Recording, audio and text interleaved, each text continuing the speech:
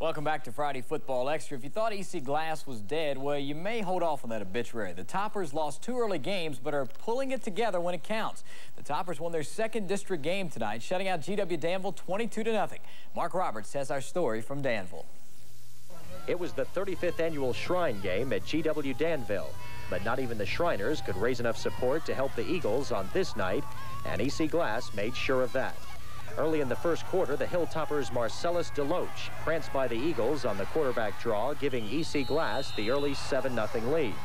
Danville quarterback Jason Payne had trouble all night long thanks to a swarming Glass defense.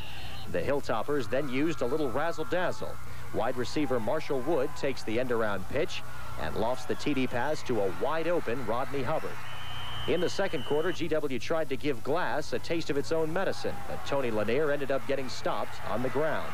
EC Glass added a 22-yard field goal before the half and took a 16-0 lead into the locker room.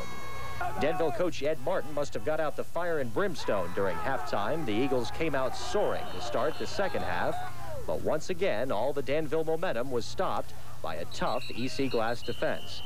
In the fourth, Glass added some insurance as Tracy Donegan zips through the punt coverage, and the Hilltoppers finished a dominating shutout, 22 to nothing. No, they, they deserve to win. They beat us here. We hadn't lost here since they beat us two years ago, and they beat us in uh, every way that you can be beaten, and they deserve to win the football game.